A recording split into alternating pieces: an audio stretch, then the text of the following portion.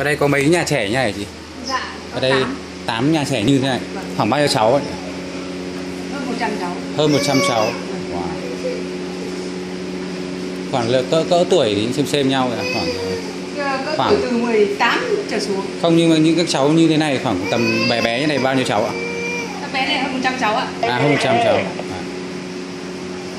cháu cháu trông các cháu vất vả lắm Vâng. rồi chị nhỉ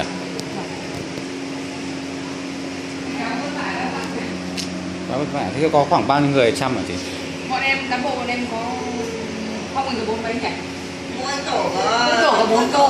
à bốn cô. Vâng. Ồ, xiên tổ nhà bảy thì đâu có một tổ là sơ sinh của các cháu là cháu bình thường đấy À. là từ độ 12 Thế cô. là chế độ có khám chứ các cháu ở đây không? có ạ có. à thế à y tá người ta cũng bệnh hay à ngày ạ. à thế thế cũng tốt cho cháu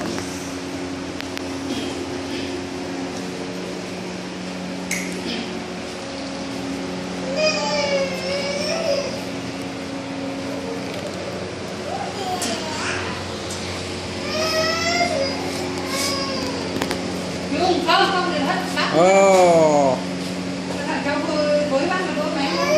Nhưng mà để thấp này không không sung ngã. Nguy hiểm Dạ, nhỉ dạ, dạ. Nguy hiểm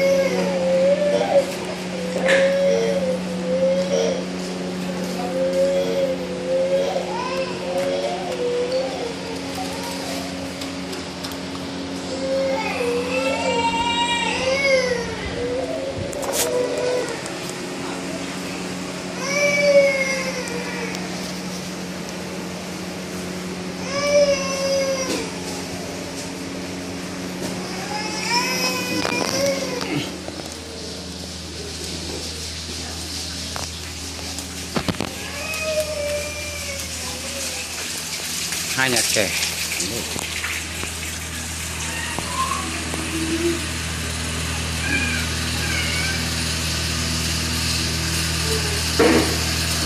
Thank you.